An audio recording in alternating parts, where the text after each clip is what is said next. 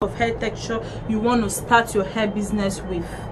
So for me if i'm talking to my hair sellers those that are going into the hair business i will always advise them because some people are so confused about the one that will sell especially those that, like i told you you can start with any amount. Especially those that are so confused about the amount to start with.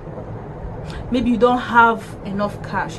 I'm not i started small like i said in my period i just bought the hair that i will use. I started making videos and posting the pictures of the hair on my whatsapp and i started getting order. So basically i will always advise people if you're planning on starting a hair business body wave and straight hair.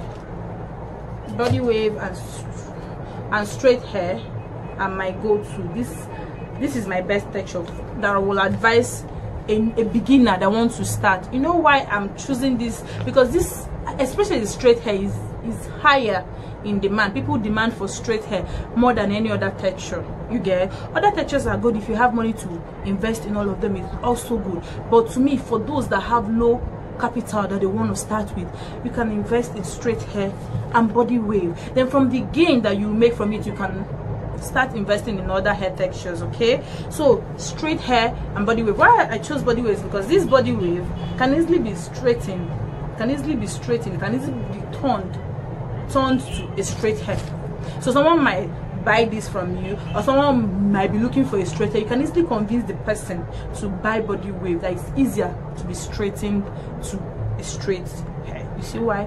Body wave straight hair is cool. And straight hair can easily be turned to a body waves and other coils too. So for people that want to start and you don't know the hair texture to start with please my love you can start with body wave and straight hair. Thank you